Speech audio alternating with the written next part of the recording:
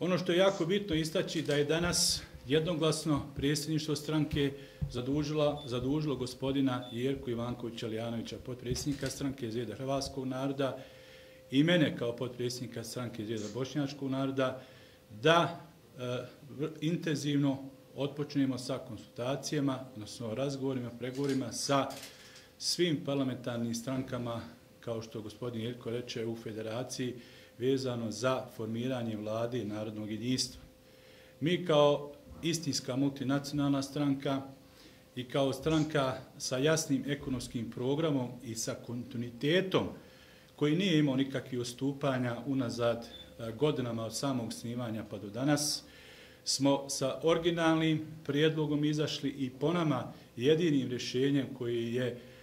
potrebno realizirati da, kao odgovor ovako teško socijalno, ekonomskoj i našto političkoj situaciji u Federaciji Bosne i Hercegovine.